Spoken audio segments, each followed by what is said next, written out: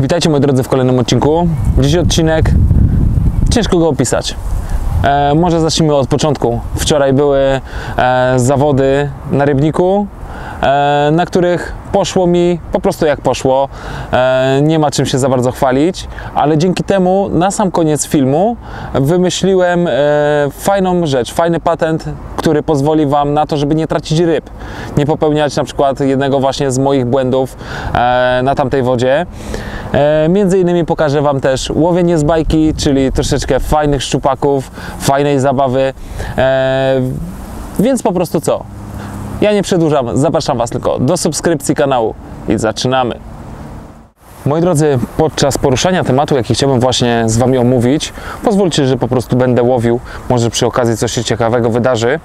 A jeżeli nie, to po prostu skończymy na tym, że przynajmniej wszystko Wam fajnie opowiem.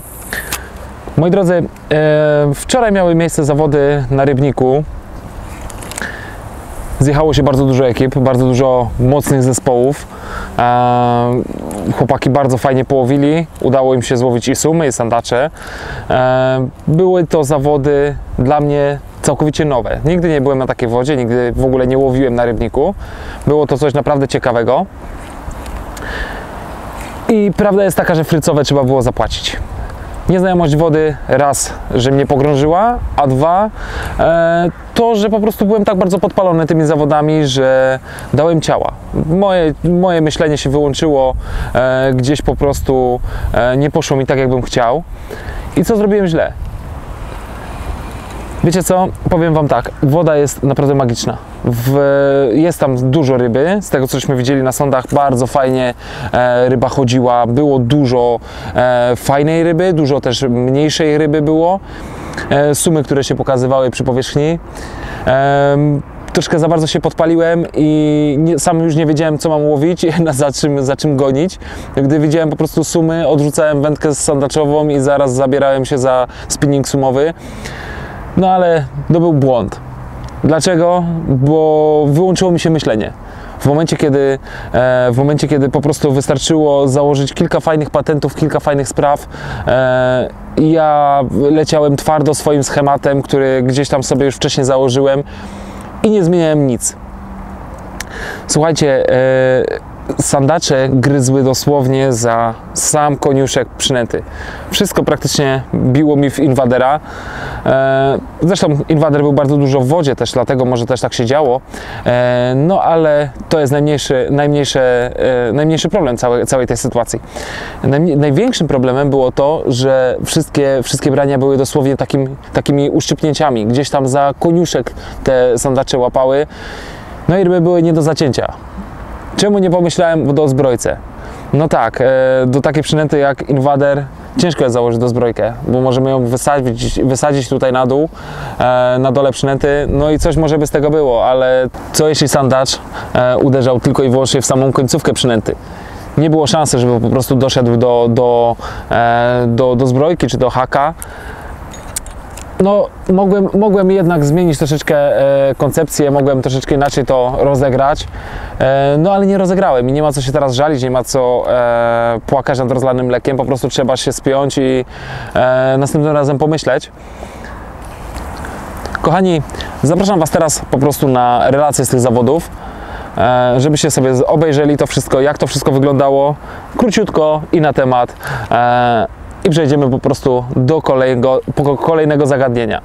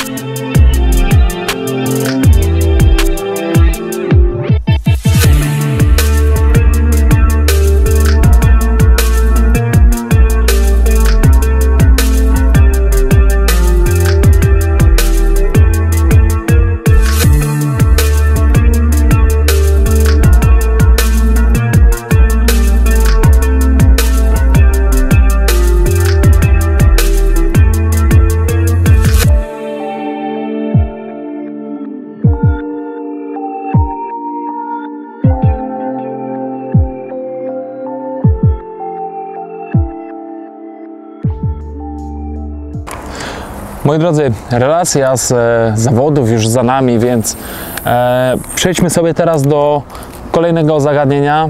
Mianowicie chciałbym Wam pokazać kilka, e, kilka fajnych ryb z magicznego łowienia, czyli zabieram Was do Szwecji e, na szkiery, pokażę Wam jak tam szło i powiem Wam tak. E, w Polsce bardzo często e, wiele, o, miałem puknięcie. E, wielu e, wędkarzy mówi, kurczę, zobacz, ta przynęta jest taka fajna, e, dzięki tej przynęcie połowisz bardzo fajne ryby i tak dalej. E, robi się różnego rodzaju porównania, taka przynęta z taką przynętą, e, która jest lepsza, która jest gorsza, ale powiem Wam tyle. Według mnie, od kiedy byłem właśnie tam w Szwecji, e, zauważyłem jedną ważną rzecz. Nie da się porównać przynęty, jeżeli ryby jest mało. Fajnie jest porównać taką przynętę w momencie, kiedy ryb jest dużo i mamy e, po prostu na czym pracować, tak? Jeżeli ryb jest dużo, wtedy widzimy, czy ryby bardziej reagują na przykład na jerka, czy może na blachę, czy może na gumę, e, czy może chociażby na zwykłego po prostu woblera. E, staraliśmy się zrobić takie porównanie właśnie z Adamem i z e, Andrzejem. Sprawdzaliśmy po prostu na co, na co ryby będą brały naj, najlepiej. E, tamtego dnia akurat okazało się, że zwycięską przynętą był malutki jerk od Rapali chociażby i był to Twitching Shot w takim w, kolorze takiego Fire Tigera. Bardzo fajna przynęta. Pokażę Wam ją oczywiście też na, na prze- z przebitek. Ale nie można też powiedzieć, że nie działo się nic na inne przynęty, bo działo się też i na jerki innych firm, działo się też na e, blachy, chociaż, tak jak mówię, wszystko zależało od pogody i od pory dnia po prostu, jaka, e, jaka była. Słuchajcie, e, zapraszam Was po prostu teraz na kilka fajnych holi, troszeczkę fajnej zabawy i przejdziemy do tej najważniejszej rzeczy, która najbardziej wam, Was na pewno interesuje, jak poradzić sobie ze sandaczami, żeby nie spadały.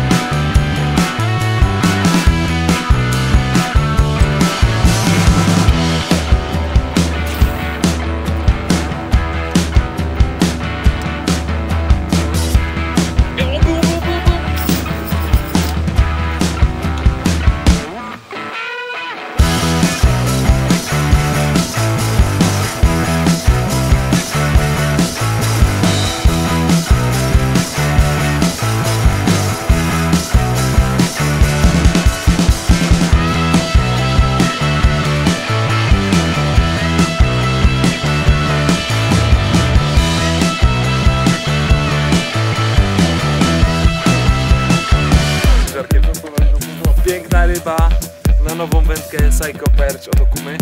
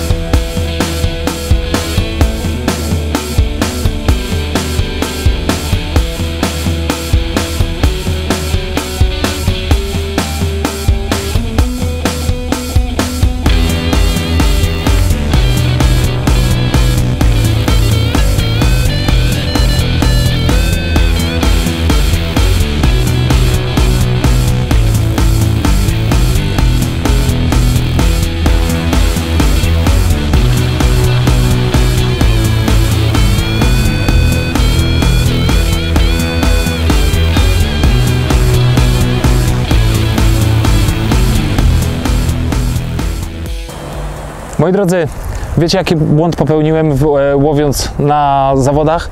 Nie dałem do zbrojki. A teraz pokażę Wam, co trzeba było zrobić i przyniosłoby mi to na pewno oczekiwany efekt. Mogę użyć po prostu zwykłych dozbrojek. Ja akurat używam od VMC. Miałem je ze sobą, a jednak, tak jak mówię, myślenie się wyłączyło. I mogłem zrobić krótki, szybki patent. Założenie takiej dozbrojki po prostu na hak i odsadzenie jej jak najdalej. Jest to niestety inwazyjna, mocno metoda.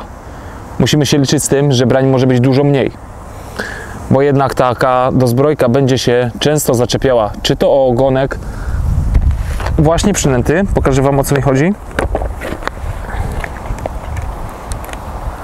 Weźmy sobie akurat Dragona Lunatica, jedna z moich też e, przynęt faworytów. W momencie, jeżeli założymy taką dozbrojkę tutaj na hak, ona nie spadnie. To o, tym się o to się nie bójmy, e, że miałaby spaść, bo za każdym razem gdzieś tam ją zadzior złapie. Zobaczcie sami. Nie ma tak, że taka dozbrojka po prostu sobie spada, ale wbijając już ją w ogonek, mocno ograniczamy pracę. To się jednak będzie plątało, to zawsze będzie miało jakiś minus, no ale są i minusy, są i plusy. Gdybym tak zrobił, pewnie zaciąłbym każdego sandacza, który mi uderzył, a tu się okazuje, że e, ryby brały po prostu za sam koniuszek przynęty i nie byłem w stanie ich zaciąć. W momencie, jeżeli e, mamy taką dozbrojkę, w tym momencie możemy się bawić z e, po prostu takimi leniwymi sandaczami.